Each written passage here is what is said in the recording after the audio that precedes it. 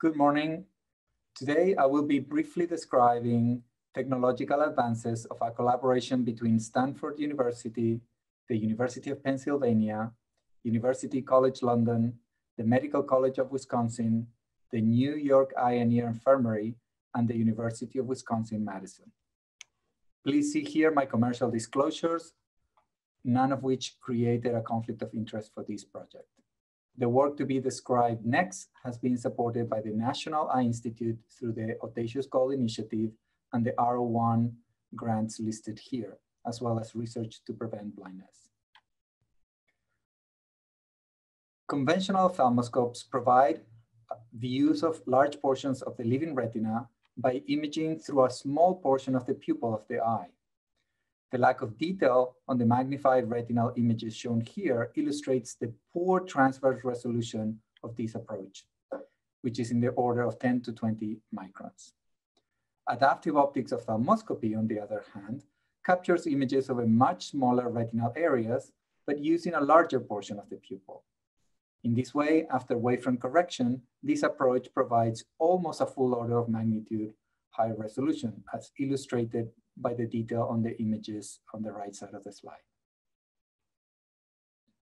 By detecting minute retinal changes, adaptive optics ophthalmoscopy can contribute to improving eye care by facilitating the development and evaluation of novel therapies, by improving disease management through personalized treatment, and also by mitigating vision loss through earlier diagnosis of eye disease.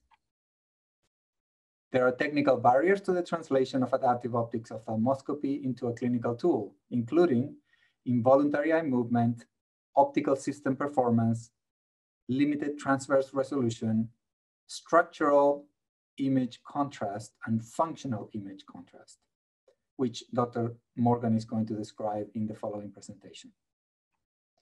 So let me show you for a moment a diagram of an adaptive optics ophthalmoscope, which in many regards is similar to a confocal microscope. Let us now focus on the component highlighted on the bottom right, namely the pupil tracker, which does not interfere with the optical setup. So the first step towards effective correction of involuntary eye motion is the precise measurement of eye movement with minimal latency. In the current pupil tracking paradigm, the capture of pupil images, the transfer to a computer, and the processing to find the pupil location are all performed in sequence, as the top diagram shows. In our paradigm, a specialized computing technology called Field Programmable Gate Array, or FPGA, processes the pupil images as they're being downloaded from the camera, resulting in lower latency. Our pupil tracker described in a manuscript in preparation has been implemented with an optical setup for normal involuntary eye movement that achieves high precision that is in the order of a micron. An alternative optical setup was also tested for subjects with nystagmus, which allows higher frame rates on the order of 900 to 3000 frames per second. These require novel line by line uh, or one-dimensional image processing algorithms rather than the traditional two-dimensional algorithms, plus a robust method for discarding outliers shown here as red dots on the left um, images. With this new processing paradigm and algorithms, we were able to deliver latencies between 0.7 and 2.5 milliseconds, dominated by the time required to download the images from the camera to the computing device. When viewing the retina at very high magnification, it is challenging to accurately record the exact location of retinal images. This represents a practical barrier to the longitudinal imaging that is essential for monitoring the success of regenerative therapies. To address this, we developed a fundus camera with a long working distance to facilitate integration with any AO ophthalmoscope. This camera uses 940 nanometer light to avoid interference with AO psychophysical experiments and functional imaging. This camera allows light from the AO ophthalmoscope to leak into the fundus image, creating an accurate record of the retinal location being imaged, as the small bright rectangles on the left panels show. After nearly two decades of empirically designing reflective ophthalmoscopes, we use nodal aberration theory to rigorously describe the performance of the afocal telescopes that are their fundamental building blocks. The insight from this theory allowed us to develop better ophthalmoscopes, such as the one we used to capture the images shown here uh, uh, from uh, mouse uh, photoreceptors. Also, it allowed us to better understand the limitations of this optical relay, which led us to proposing and demonstrating a four element pupil relay with almost double the spectacle prescription range. This relay can be used in both scanning and non-scanning of ophthalmoscopes, greatly increases the fraction of the population that can be successfully imaged. This relay also allows for the use of larger fields of view and the beam steering needed for eye movement compensation.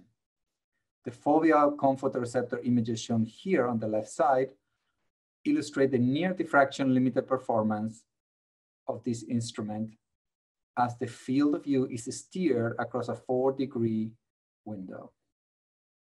Let us now look at the resonance scanner for a second, where we have identified a source of image blur that was not measured by current wavefront sensing techniques. This blur is caused by the distortion of the surface of this mirror, uh, degrading resolution by as much as a factor of two in any imaging modality, and in particular in confocal imaging channels, this blur can lead to a reduction of signal as high as 80 to 90%. We propose the mitigation of this distortion by using custom mirrors made of materials only recently introduced to the optics industry. By reaching out to the broad AOSLO community, we were able to collectively order these mirrors, which we could otherwise not afford separately. Even with these new mirrors, residual distortion will remain. And to correct for it, we will modify the optical setup to introduce equal and opposite static but field varying aberrations. These aberrations will cancel those dynamic aberrations introduced by the um, mirror deformation. Just like each eye has unique monochromatic wavefront aberrations that introduce image blur when using a single wavelength of light, each eye has unique longitudinal chromatic aberration and cylindrochromatism. In order to correct for these ocular chromatic aberrations, we developed a novel type of tunable lens, which we refer to as the chromatic Alvarez lens. This lens consists of two optical elements that when transversely moved Uh, as depicted on the left column diagrams, it will introduce wavelength varying wavefronts shown here on the three adjacent columns. By correcting these chromatic aberrations, we will be able to use multiple wavelengths of light simultaneously to probe the health of individual retinal cells.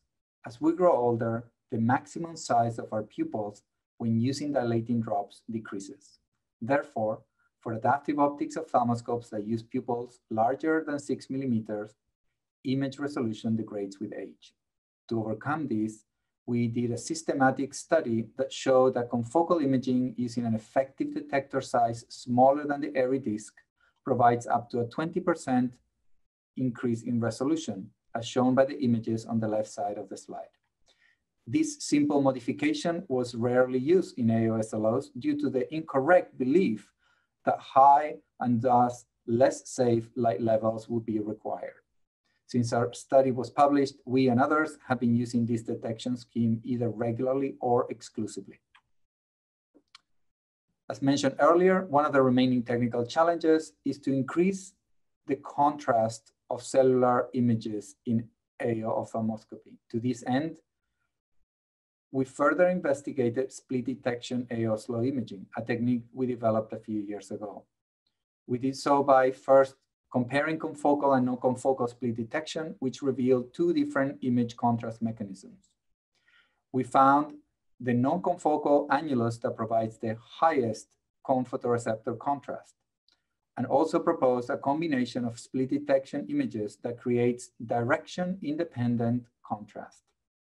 We hope that this novel image type will facilitate the automated interpretation and quantification of retinal structures. A critical component of successful AO ophthalmoscopy is wavefront sensing. This technology, although easy to implement and operate, it is not yet mature to the point that non-experts can obtain high quality images consistently. Moreover, it is not even clear that even expert operators can deliver the full potential of this technology consistently. During the past six years, we've made the following contributions to improve ophthalmic wavefront sensing, specifically for AO retinal imaging. First, we identified the source of error in partially illuminated Shack-Hartmann lenslets and corrected it, improving wavefront correction and making AO control loops more stable. This will also benefit um, other applications such as ground-based uh, astronomical telescopes. Second, we quantified the wavefront error introduced by the Stiles-Crawford effect and illustrated its mitigation through the use of smaller lenslets. Then we proposed a centroiding approach that mitigates wavefront errors due to backscattering from multiple retinal layers and or pathology. We then derived analytical formulae for more accurate wavefront reconstruction. And finally, we formalized a definition of Shack-Hartmann dynamic range that can be used to design instruments with almost an order of magnitude higher sensitivity. The advances developed during this project are already being used for natural history studies, as well as clinical trials of gene therapies and neuroprotecting agents. Today, most of our dissemination efforts have been within our AGI collaborators, as shown by the green cells in this table. Over the next two years, we will be devoting ourselves to sharing and COVID permitting, even deploying um, instrumentation and training at various institutions, as shown by the orange hatched cells in this table. So the work towards the AGI goals have not ended in our lab. In fact, they have taken over our lab completely. So in addition to working on dissemination, we will focus on developing distortion correction and calibration methods to improve rigor and reproducibility across all labs. I'm proud to report that over 20 external labs and companies have already agreed to participate in this initiative. We will also refine our latency pupil tracking, evaluate lower cost technologies to explore a potential um, commercialization of this product, and also demonstrate real-time eye movement correction. Now that we have optics capable of imaging a very large fraction of the population, we also need to address the next major limitation of AO ophthalmoscopy, which is increasing its field of view. This is essential for using this technology to systematically screen subjects for early diagnosis. Finally, we have created a website inspired by the success of WebVision to share theory, context, online calculators, and code to users and developing developers of AO ophthalmoscopy. We see this resource um, as developing over the coming years as part of a community effort. Thank you for your attention. Good afternoon. It's my pleasure to be here today to talk to you about our project for platform technologies for microscopic retinal imaging, assessing retinal function. My name is Jessica Morgan, and I'm at the University of Pennsylvania. I'd like to thank the NIH for organizing this symposium and for supporting our work through the Audacious Goals Initiative. Before I begin, I'd like to acknowledge the people on my team that make this work happen. In particular, my collaborators, David Brainard, Robert Cooper, William Tuten, and Alfredo Dubra. Already today, you've seen how adaptive optics technology enables microscopic imaging of the living retina by first measuring and then compensating for the optical aberrations of the eye. Shown here is an image of the living human parafoveal cone mosaic, where each bright spot in the image is a single cone photoreceptor.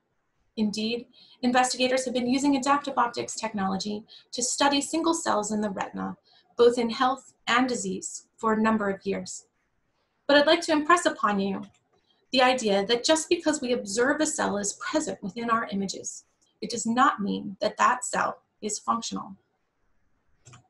So our role in the Audacious Goals Initiative was to develop a high throughput cellular resolution method for assessing retinal function. We did this in a number of ways, but the technique I'm going to talk to you about today is called optoretinography. Optoretinography is a new and emerging field, and it is a technique for measuring an optical signal that arises from the retina in response to a visible stimulus. Its corollary is electroretinography, which has been around for a number of years and which measures an electrical signal that arises from the retina in response to a stimulus. In order to begin this endeavor, my team and others made the observation that near-infrared photoreceptor reflectance varies in response to a stimulus. Shown here is an image acquired with adaptive optics scanning laser ophthalmoscopy. Each cone uh, has its own reflectance trace uh, throughout this video. And we image that reflectance with near infrared. But then we stimulate the photoreceptors across the full imaging field, in this case, using a red light, marked here by the red bar.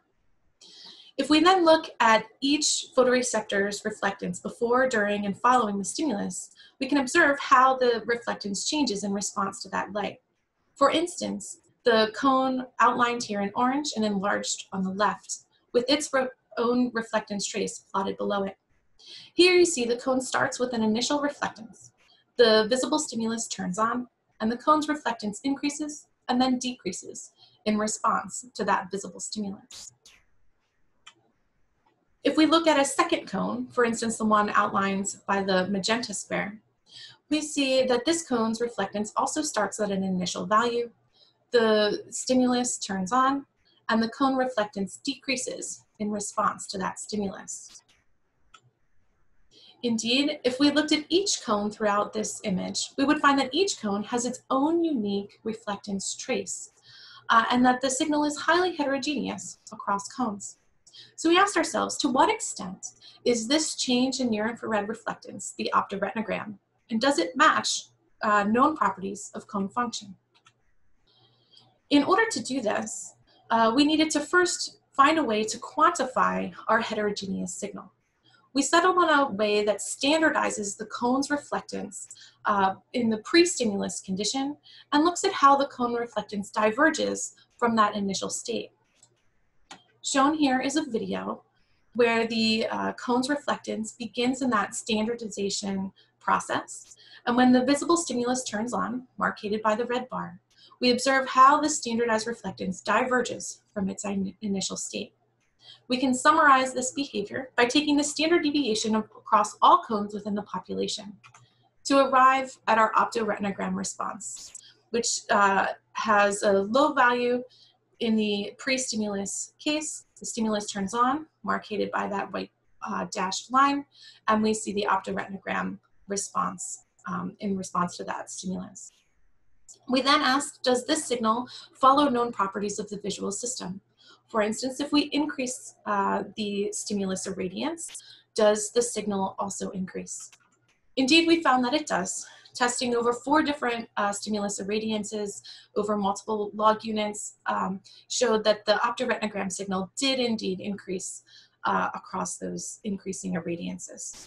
We then looked at varying stimulus wavelength and found that the action spectrum of the optoretinogram response mirrors the human photopic luminosity function, or the CIE function, shown by the white dashed line. And so we're very confident now that the optoretinogram response that we're measuring is indeed related to cone function. All of our measurements so far that I've told you about have been over a population of cones. And so we then wanted to know whether we could measure an optoretinogram across individual cones. Well, I've already shown you that the change in near infrared reflectance, such as those highlighted by the, by the four cones outlined here, uh, is heterogeneous across cones. Well, it turns out that the change in near infrared reflectance following a stimulus is also heterogeneous across trials.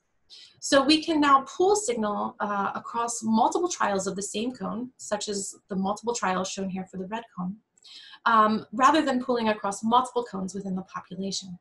In this way, we can then uh, determine an individual cone optoretinogram and assign each cone in the mosaic its own functional response based upon the cone's change in near infrared reflectance following the visible stimulus. Shown here is an image, again, of the parafoveal cone mosaic, where um, each cone has now been assigned its optoretinogram amplitude and color coded accordingly. This has high potential now for translational studies, where we aim to understand retinal disease and its treatment, in particular as regenerative medicine aims to restore function to cones that are structurally present. We can now measure that function. In the aim of translating to clinical studies, we have also looked at the optoretinogram in disease states. Here, I'm showing you an example of choroideremia, where we compared four choroideremia subject images to uh, five control images and found that the amplitude of the optoretinogram was greatly reduced in our choroideremia subjects in comparison to controls. So in summary, the cone optoretinogram is measurable across a population of cones and at the individual cellular level. Optoretinography shows high potential as an objective biomarker for assessing cone function. Thank you for your time. Please feel free to reach out to me at jwmorgan at upenn, or I'm sorry, pennmedicine.upenn.edu. Thank you.